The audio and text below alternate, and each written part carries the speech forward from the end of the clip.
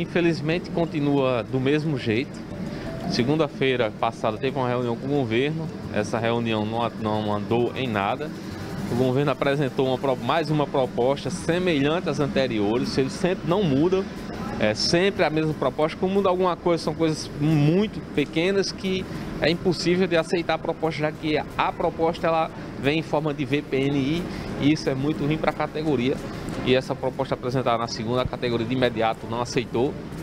É, no entanto, na terça-feira formalizamos uma nova proposta, demos entrada no gabinete civil e estamos aguardando uma resposta do governo para marcar uma reunião que a gente possa debater sobre essa nova proposta.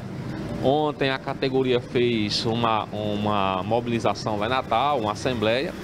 Estivemos lá nos fotos Reis Magos, onde a governadora se achava presente. E é, alguns colegas da diretoria, inclusive a presidente, conseguiu falar com a governadora e pediu a sensibilidade a ela para que ela resolvesse o problema. Já que nós estamos em um início de carnaval e as delegacias irão ficar fechadas, principalmente onde, onde irão ocorrer algumas festas, mesmo privadas, como a Areia Branca, Tibau, a Podi, a gente sabe que são polos carnavalescos, não irá ter carnaval público, mas ocorrerá o carnaval privado e nessas cidades onde costumeiramente todos os anos de carnavais têm delegacias funcionando, em virtude desse impasse, os policiais continuam é, sem tirar os, os serviços extras, logo essas cidades serão penalizadas por falta de policiais. Durante a semana houve um pronunciamento da, da presidente do Simpal em relação ao impasse com a, a delegada regional em relação justamente ao funcionamento das delegacias nos finais de semana.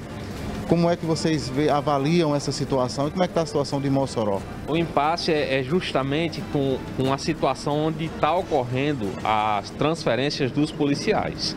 É, policiais são designados para atuar nas delegacias de plantões e fazem com que as delegacias de trabalho, é, do trabalho permanente, do trabalho do dia a dia, ela fique desfalcada com, para com os policiais. E isso faz com que o trabalho da investigação ele cesse.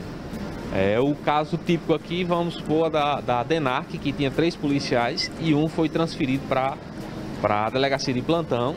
A delegacia de homicídio foi transferido dois, um escrivão e um agente. A DEFU perdeu um policial, foi para a delegacia de plantão também.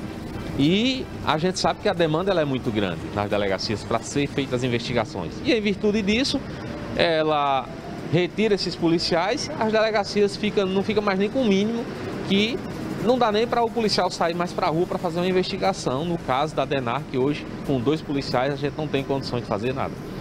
Esses dois policiais, qual é a área de abrangência? Quais são os municípios? A DENARC ela atua em toda a Mossoró, né? Com, inclusive com atribuições em algumas é, na delegacia regional, que são as, as cidades da regional, no caso aqui Baraúna, Açu, é, governador, essas cidades onde, onde, onde a delegacia pode atuar em investigação de tráfico de drogas. E, infelizmente, a gente não tem a mínima condição de, de trabalhar. E não só isso aqui, a, a DEON também, que esse, essa semana ocorreram vários homicídios. Isso faz com que a coleta de investigação, que, por exemplo, a coleta de imagens é, em locais de crimes, elas também deixam de acontecer vai perdendo-se as provas da investigação e infelizmente é, esses, essas investigações não andam e ficam do jeito que está, ficam paradas e só quem perde com isso é a sociedade.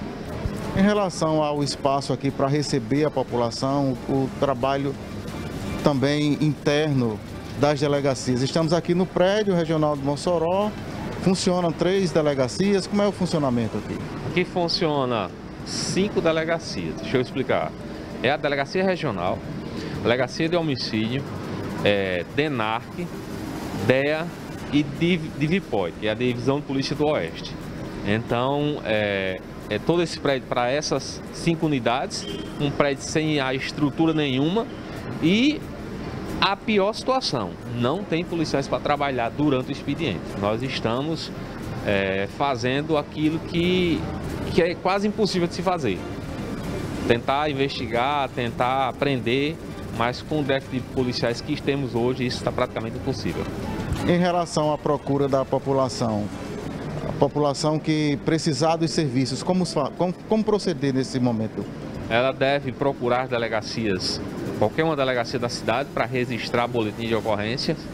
É, no entanto, as, as, investigações, quer seja de roubo, quer seja de homicídio ou, ou qualquer outra investigação, elas estão é, muito difíceis de serem feitas em virtude da falta de policiais.